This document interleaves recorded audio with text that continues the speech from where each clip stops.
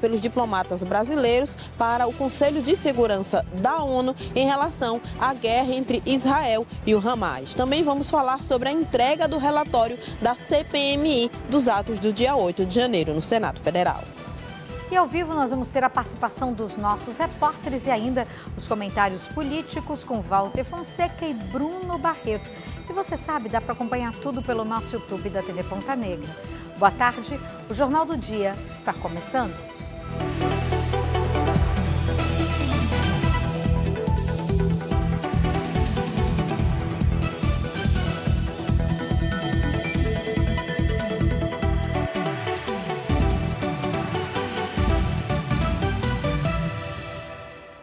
agora, direto para todo o Rio Grande do Norte, a gente começa a edição dessa terça-feira, 17 de outubro, do Jornal do Dia, falando sobre o que pode ser um dos primeiros casos de lesão ocular relacionada à exposição ao eclipse solar registrado nessa última semana na região metropolitana de Natal. Nossa repórter Juliana Lobo traz informações e conta ao vivo para gente. Boa tarde, Juliana. Afinal de contas, é isso aconteceu? Essa lesão é comprovadamente uma lesão que veio a partir da exposição ao eclipse? Boa tarde, Micarla. Boa tarde a todos. Provavelmente sim, viu, Micarla? O oftalmologista que atendeu a essa jovem né, informou que realmente é um tipo de lesão que é causada por exposição ao sol.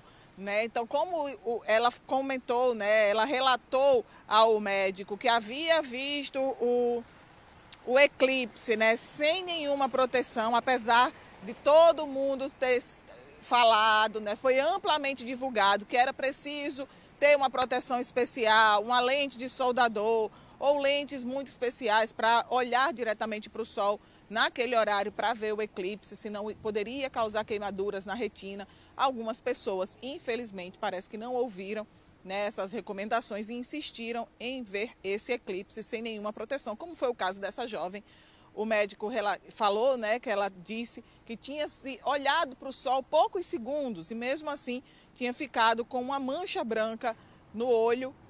Acredito que o olho esquerdo não estava conseguindo ver direito por esse olho, ficava uma mancha branca bem no centro da visão dela, né? Desde sábado, então ela procurou o médico hoje, nessa terça-feira. E vamos ouvir aí o relato desse especialista, né? Desse, desse especialista em visão, desse médico oftalmologista que atendeu a essa jovem. Vamos ouvir. É uma paciente jovem de 22 anos de idade com a queixa que estava vendo uma mancha no centro da sua visão e que a visão tinha piorado desde a exposição ao eclipse. Ela disse que ficou olhando ah, por alguns segundos diretamente para o sol. E aí, quando examinamos, vimos uma lesão no fundo do olho dela sugestiva de uma doença chamada maculopatia solar ou retinopatia solar. Fizemos um exame de OCT e confirmamos o diagnóstico. Então, o que é essa maculopatia ou retinopatia solar? É uma lesão fototraumática nas camadas mais internas da retina, causada por exposição ao sol ou alguma outra fonte luminosa intensa.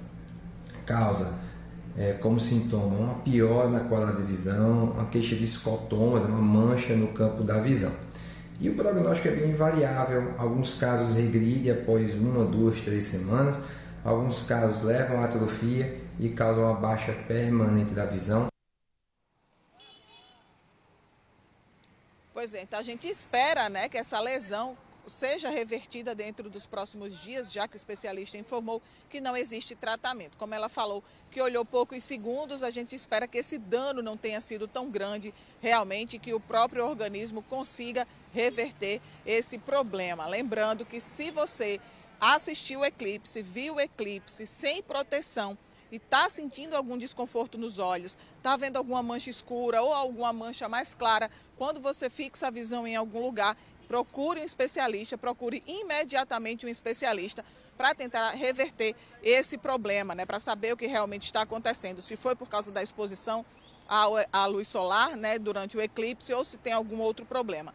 Não perca tempo, não espere para que esse problema realmente não se agrave. Me Carla.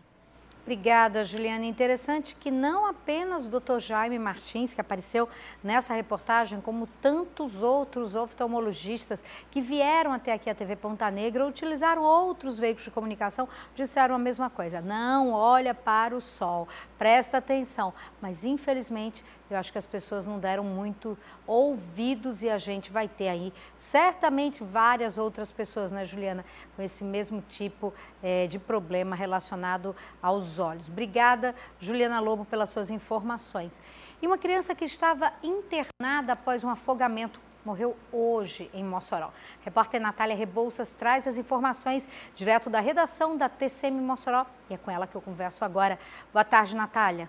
Boa tarde, Micarla. Boa tarde aos que acompanham o Jornal do Dia da TV Ponta Negra. A gente começa com a informação da criança de 8 anos que sofreu um acidente em uma piscina no dia 12 de outubro em Clube, aqui em Mossoró, que infelizmente veio a falecer na manhã desta terça-feira. A criança foi internada em estado grave após ser socorrida pelo Corpo de Bombeiros em uma piscina. Ela bateu a cabeça e posteriormente sofreu afogamento. A morte foi confirmada pelos familiares. A gente traz informações também em relação a uma prisão por tráfico de drogas que aconteceu em Mossoró. Um homem de 62 anos foi preso com drogas também, dinheiro fracionado e balança de precisão. O caso foi encaminhado pela Delegacia de Narcóticos aqui de Mossoró para posteriormente também dar sequência à investigação desse caso. E agora a gente fala da campanha Meu Melhor Natal, realizada pela UERN. A campanha Meu Melhor Natal, que tem como meta em 2023 arrecadar mais de 3 mil brinquedos. A campanha que é tradicional, realizada pela universidade, voltada a instituições carentes, realiza essa doação para crianças carentes aqui da região, sobretudo da zona rural. Eu volto com você, Micarla. Obrigada, Natália Rebouças, pelas informações. E o Conselho Municipal dos Direitos da Criança e do Adolescente aqui de Natal oficializou a realização de uma nova eleição para conselheiros tutelares no próximo dia 29. O pleito deveria ter acontecido no dia 1 mas foi adiado depois de problemas nas distribuições de urnas. A eleição vai ocorrer em três municípios do estado: Natal, Ceará-Mirim e Areia Branca. Um erro na distribuição das urnas provocou o cancelamento da eleição, que deveria ter ocorrido no dia 1 de outubro. A comissão eleitoral reconheceu o erro e disse estar alinhando tudo para uma votação segura, marcada para o próximo dia 29. As urnas estão sendo parametrizadas novamente pelo Tribunal Regional Eleitoral. Os cadernos de eleitores estão sendo reimpressos e a gente vai ter aí no dia 29 de outubro uma eleição tranquila, uma eleição que possibilite que as pessoas votem e que os candidatos e candidatas sejam votados como assim eles estão fazendo durante esse período de campanha eleitoral. Para a votação do próximo dia 29, 39 candidatos irão concorrer a 20 vagas que serão distribuídas nas quatro regiões de Natal. Houve um, um candidato que apresentou uma desistência, né? Ele desistiu da sua candidatura e houve uma candidata que foi caçada, né? Ela teve a sua candidatura caçada pela comissão eleitoral e pelo Conselho Municipal dos Direitos da Criança e do Adolescente.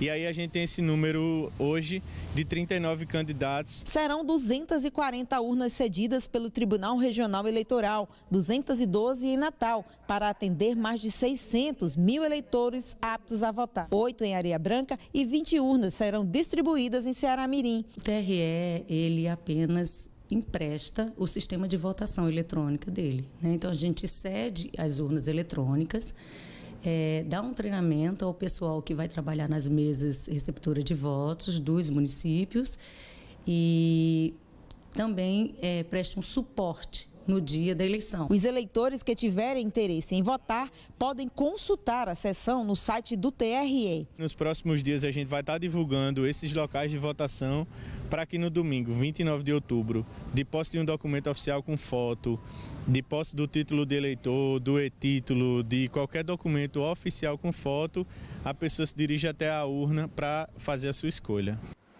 E a Secretaria de Educação realizou audiência hoje na Escola Estadual Raimundo Soares para consolidação dos cursos técnicos que serão ofertados no Instituto Estadual de Educação e Tecnologia em Natal.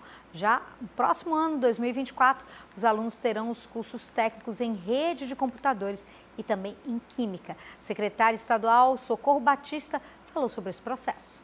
Nós vamos definir a oferta profissionalizante do Instituto Estadual de Educação, Ciência e Tecnologia de Natal, que é um novo equipamento é, educacional que está sendo construído aqui na Zona Leste. A importância desse momento é que é um exercício, primeiro, de democracia, de ouvir os estudantes, de ouvir a comunidade, setor produtivo, é aqui da região, para que a gente possa ter definido aqui cursos que respondam à demanda, ao desejo, à expectativa da juventude, bem como à demanda da economia local. E agora a gente vai direto ao mais completo e confiável portal de notícias do Rio Grande do Norte, Ponta Negra News, saber o que é destaque hoje lá no portal. Boa tarde, Beatriz Ribeiro. Seja mais uma vez bem-vinda aqui ao Jornal do Dia. Oi, Micarla. Ótima tarde para você e para todo mundo que está acompanhando o Jornal do Dia. Vou começar falando sobre a maternidade Januário Cico, que realiza nesta terça-feira um mutirão de serviços de prevenção contra câncer de mama para atender 200 mulheres cadastradas anteriormente. Dentre os serviços ofertados estão consultas, exames de mamografia e ultrassonografia. O mutirão é destinado a mulheres a partir dos 40 anos de idade. E dois novos leilões online serão realizados pelo Detran nesta quarta-feira, a partir das 10 horas, no site da Lance Certo Leilões. Os lotes compreendem veículos destinados ao uso de sucata, sendo estes somente permitidos lances emitidos por empresas devidamente credenciadas pelo Detran. E você pode conferir todos os detalhes no nosso portal pontanegranews.com.br. E a TV Ponta Negra está muito mais junto de você a cada dia que passa. E para estreitar ainda mais nossos laços, criamos uma ação especial: Você na nossa casa. Afinal, nossa casa é sua casa e queremos que você se sinta parte da família TV Ponta Negra. Para participar, basta fazer parte da plateia virtual nos programas Patrulha da Cidade e É Notícia, deixando seu número de telefone e torcer para ser um dos sortudos escolhidos. Lembrando que só podem concorrer maiores de 18 anos. Ai, tá sendo uma festa aqui, né? Não é? Receber cada dia nossos telespectadores e hoje a gente recebeu, Bia, eu acho que você deve ter visto. Com certeza. Hoje a gente recebeu mais telespectadores sorteados. Eles visitaram aqui os estúdios, né? Conheceram tudo de bom. O Patrulha da Cidade foram lá também na 95, que fica aqui no mesmo prédio. Foram na 95 mais FM. Eu estava apresentando o Conexão 95 e foi aquela festa, né? Além de ganhar presentes, conversar com a gente, conversar com nossos apresentadores, todos os nossos telespectadores que foram sorteados para estarem aqui na TV Ponta Negra estão concorrendo a um sorteio de uma viagem, sim, para conhecer o SBT em São Paulo. Olha, as imagens que você está vendo já é, é, eles estavam concorrendo, né, a um voucher de roupa na Rio Center. Aí a nossa presidente, dona Miriam de Souza, que fez questão de conhecer todos eles, de receber eles, de levar para a sala dela, né, para fazer aí tomar um café todo mundo junto. Então, para todos nós é uma alegria imensa. E ao todo vão ser 200 telespectadores que vão nos visitar e um sorteado vai poder viajar, não é? Que Bia? maravilha. Pois é, essa é a TV Ponta Negra. A gente muito mais junto, Potiguar, como você. Obrigada, Bia Ribeiro, Até pelas suas próxima. informações. Até a próxima. E em instantes, a Arquidiocese lança programação da festa da padroeira de Natal.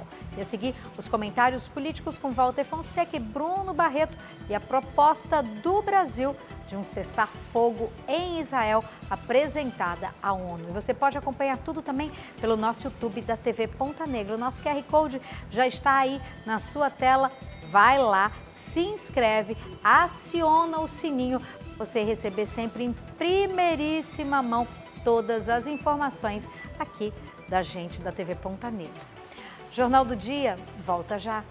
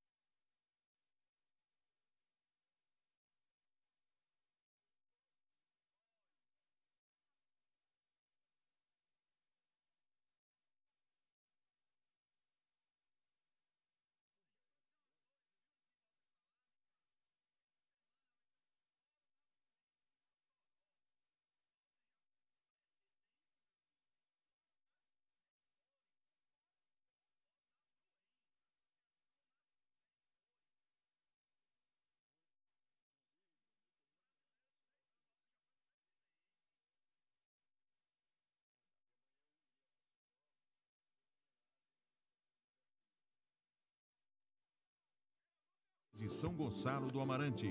Terra de trabalho, cultura e fé. Jornal do Dia. Oferecimento Rede A Construtora. Tudo para toda obra, sempre perto de você.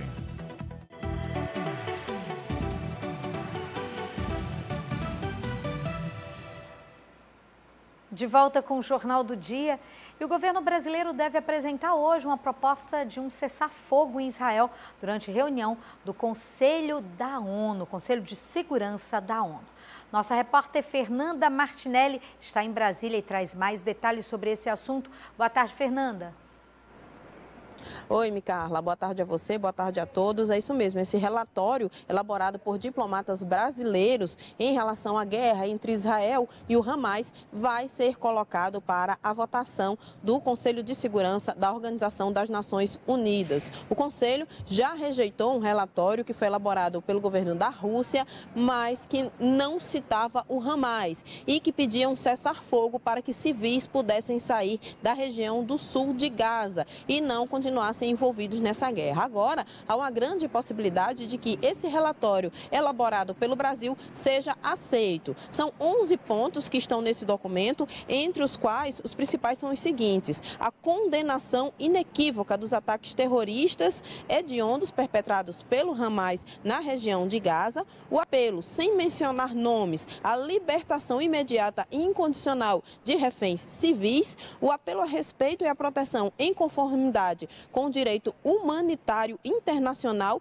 para que essas pessoas possam receber atendimento médico e possam receber medicamentos dos quais são necessários e também a decisão de continuar envolvido nas questões relacionadas à guerra. Há um grande debate em relação à ONU por causa da questão do cessar-fogo. Enquanto alguns países, como é o caso dos Estados Unidos, defendem que a guerra deve continuar e de que não deve haver cessar-fogo, porque Israel tem o direito de se proteger dos ataques do Hamas.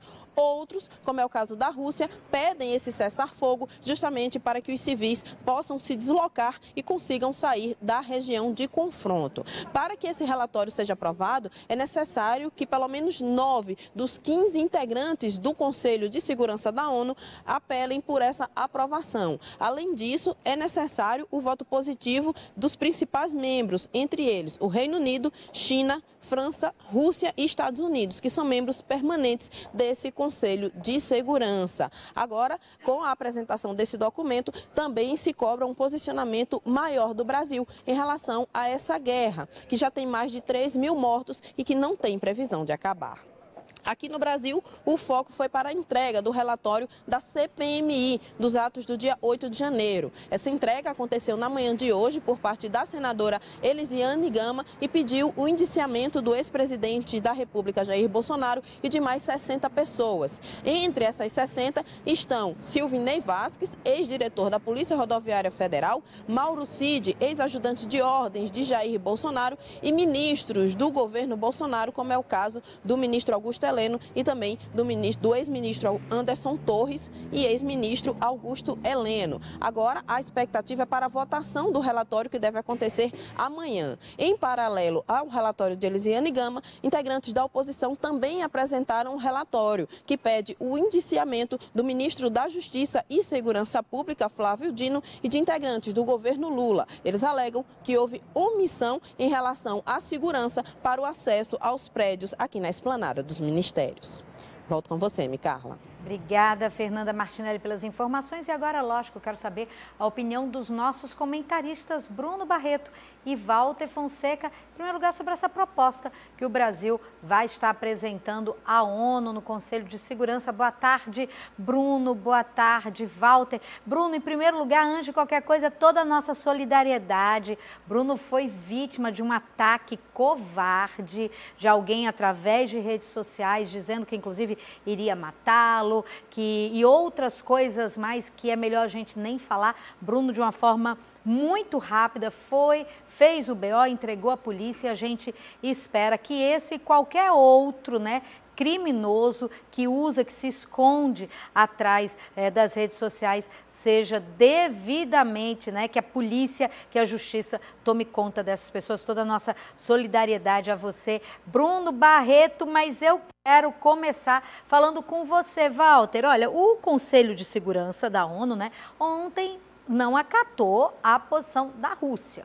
Tá? Mas hoje o Brasil está né, se posicionando, é, fazendo uma proposta, e a proposta diz o seguinte: ponto 1, um, condena veementemente toda a violência e hostilidade contra os civis e todos os atos terroristas. Aí no ponto 2 já diz: rejeita inequivocamente e condena os ataques terroristas atrozes do Hamas que ocorreram em Israel a partir de 8 de outubro e daí em diante vai sendo colocado, depois é colocada a questão humanitária lá na faixa de Gaza, mas eu quero saber de você. O que se esperava do governo brasileiro? Uma posição contra o terrorismo, né, os atos terroristas que aconteceram em Israel. Você acha que a resposta foi dada? Muito boa tarde, Micaela. Boa tarde, Bruno. Minha solidariedade. Boa tarde, queridos e queridas telespectadores e telespectadoras. Olha, Micaela, é, a questão, a guerra realmente é, um, é uma coisa devastadora. Né? E existe uma velha frase que diz que quando existe guerra, a primeira vítima é a verdade. E aí começa o jogo de narrativas e as coisas ficam muito complicadas. O Brasil, na verdade, demorou um pouco a assumir a condenação do ato terrorista, né? É dos assassinatos cometidos pelo Hamas. Mas teve o bom senso. Ele, atualmente, ele não é somente um representante das Nações Unidas. Atualmente, ele tem a presidência do Conselho de Segurança das Nações Unidas. E tem agido conforme. E aí eu tenho que reconhecer isso, não é porque eu tenha divergências com o governo do PT que eu vá negar o que é verdadeiro. O presidente do Conselho, na atualidade, que é o nosso embaixador junto à ONU, ele teve não, é, não somente a capacidade, junto ao Itamaraty, de articular uma nota que pudesse atender aos diversos players, aos diversos é, é, é membros do Conselho de Segurança da ONU, como também ele teve a paciência. Né? Foi pedido para adiar, ele, ele adiou para hoje, a Rússia não. A Rússia exigiu ontem, foi intolerante, teve que ser ontem, pagou caro por isso, porque teve a sua pretensão vetada. E mais porque a Rússia só pensava em um ponto, cessar-fogo. E o cessar-fogo hoje é o pior ponto, é o ponto uh, calcanhar de Aquiles para Israel. Israel sabe se parar de bombardear, ele vai fazer uma reagrupação do Hamas. A Fernanda falou aí o que eu discordo. Os Estados Unidos não são a favor da guerra. Os Estados Unidos são contra o cessar-fogo unilateral. Por quê? Porque já houve um prejuízo grande quando mais de 1.200 eh, israelenses foram assassinados. Eles não são efeito colateral de guerra, não. Eles foram assassinados, brutalmente assassinados. Isso é crime. E quando tem um crime e sabe quem é o autor, o que é que faz a justiça, o que é que faz a polícia, o que é que faz a Força de Segurança? Vai buscar o autor para dar o, o devido, a devida punição. Israel tem exagerado um pouco, tem, porque tem aquela velha frase que diz: se os palestinos baixarem as armas, haverá paz na região. Se Israel baixar as armas, Israel deixará de existir. Então é preciso ver isso. E, a Rússia, ao contrário do Brasil, se preocupou com a parte bélica. O Brasil não. O Brasil articulou muito bem. Primeiro, a condenação ao Hamas. Segundo, a libertação de reféns, certo? Terceiro, a abertura é, de, de, corredores é, humanitários, que esse é o ponto importante. Israel hoje já sinalizou favoravelmente. O que Israel não aceita é o corredor para saída, porque ele sabe que infiltrado o Hamas pode sair e formar células externas. Mas o corredor para entrar de Israel, hoje pela manhã, já, hoje pela manhã é aqui, né, já está de Israel. Já sinalizou com a presença do, do chanceler Olaf é, Scholz da, da Alemanha e também do presidente Biden amanhã, eu acredito que será oficializado. Quero... A guerra não terminará agora. Ah, com certeza. Até o próprio né, o, o, o ministro da guerra né, lá de Israel deixou isso muito claro, que ainda vai demorar um bom tempo até que tudo isso seja definitivamente né, solucionado. E eu quero perguntar a você, Bruno, é, você que desde o começo você tem se posicionado é, favoravelmente à postura do Brasil no Conselho de Segurança, a própria postura é, da, da forma como o presidente Lula tem se colocado diante dessa guerra. E você acredita que em, em essa, é, essa proposta do Brasil sendo aprovada diante de um conselho conselho de tamanha envergadura como é esse Conselho de Segurança da ONU, o Brasil passa a fazer parte de um outro patamar? Vai dar para o Brasil realmente ser chamado para negociar em outros embates que estão acontecendo no mundo? Como é que você vê a forma como o governo brasileiro pode ser colocado após uma, uma, uma possível, né, é, uma possível posição de todo o Conselho de Segurança pró esse, esse movimento do Brasil, essa proposta do Brasil? Bruno, antes de você iniciar, me permita 10 segundos para uma informação importante para o, seu, para o seu comentário. É que a última vez que o Conselho de Segurança da ONU é, tomou uma decisão colegiada naquela região da Palestina e de Israel foi em 2016, há sete anos atrás. Então, se sair agora uma posição colegiada, realmente será uma grande vitória diplomática do Brasil.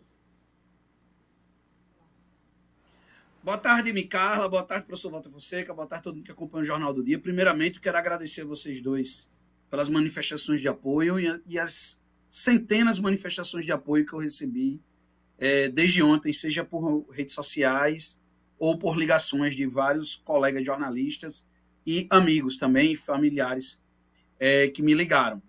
É, Primeiramente, eu só queria fazer uma observação, professor Walter. O presidente Lula, no dia seguinte, eu até li aqui o, a manifestação dele, ele, ele se manifestou no Twitter, sim, dizendo que era atentado terrorista. Ele disse isso no Twitter, condenou a violência do Hamas. É, aí as pessoas condenam, ah, porque ele não falou Hamas, não sei o quê, mas ele condenou, ele chamou sim de ataque terrorista.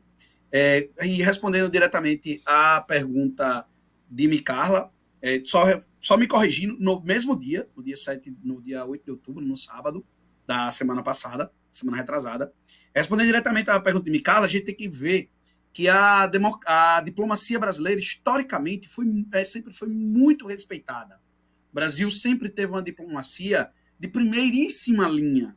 O Itamaraty tem uma forma é, é, é reconhecido internacionalmente pela qualidade dos seus diplomatas. Tanto que o Brasil tem dado um show na repatriação dos seus nacionais. O Brasil tem sido um dos mais eficientes na retirada dos seus compatriotas de Israel. A dificuldade tem sido em Gaza, mas mesmo assim é o que está mais adiantado para retirar os seus nacionais de Gaza através de negociações com o próprio Hamas, com o Egito, com Israel. O Brasil é que está mais adiantado para conseguir retirar. Se o Brasil hoje conseguir é, é, é, essa resolução da ONU, conseguir costurar, está sendo costurado para salvar, na verdade, de um fracasso da ONU, se o Brasil conseguir retirar essa resolução, segundo o jornalista Jamil Chad, que é o maior especialista é, em cobertura internacional no Brasil, na minha opinião, é, se o Brasil conseguir retirar uma resolução do Conselho é, da ONU, do Conselho de Segurança da ONU, é, o Brasil vai ter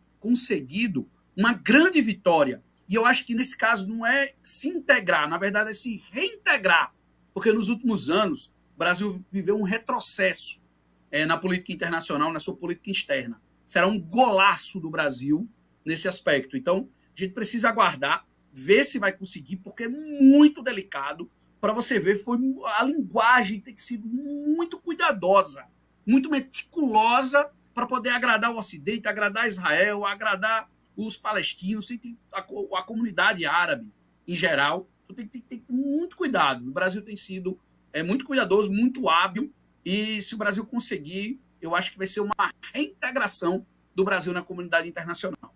Bruno Barreto, Walter Fonseca, obrigada me pela participação de vocês. O tempo da gente já está esgotadíssimo. Cinco segundos só. Eu vou só, eu vou só dizer o seguinte: o único, o único impedimento da, da resolução do Brasil poderá ser a Rússia. Vamos aguardar. Vamos aguardar até o próximo comentário político. Walter Fonseca, Bruno Barreto e a gente volta com o Jornal do Dia em instantes.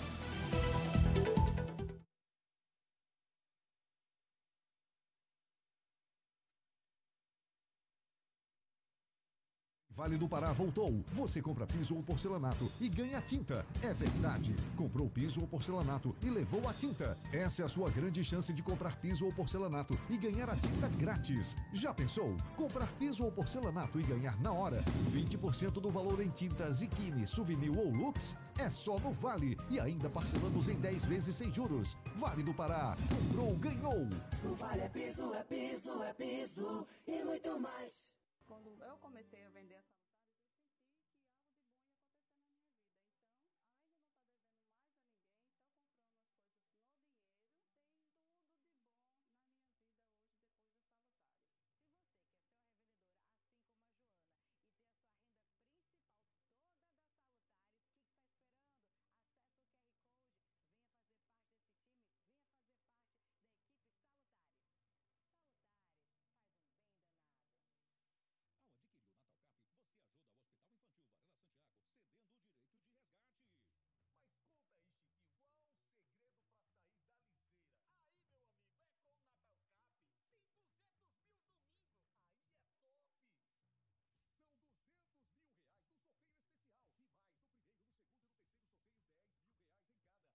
200 mil reais no quarto sorteio e ainda 30 giros à sorte de 1.500 reais cada e um giro extra de 5 mil reais. Quer ganhar? Compre já! O foco te faz vencer desafios. Para vencer a caspa, a oleosidade e a coceira, use Clear Man com três vezes ação anti-caspa. Oferta imbatível Nagem, confira! Samsung Galaxy A14 5G de 128GB por 10 de 109,90. Smart TV Philips 50 polegadas 4K por 10 de 199,90. Nagem, compre nas lojas ou no site. Jornal do Dia. Oferecimento Rede A Construtora. Tudo para toda obra, sempre perto de você.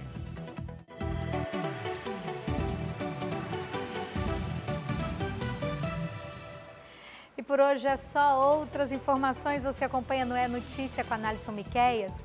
Para você, uma ótima tarde e até amanhã. A gente volta logo após o Patrulha. Eu espero você.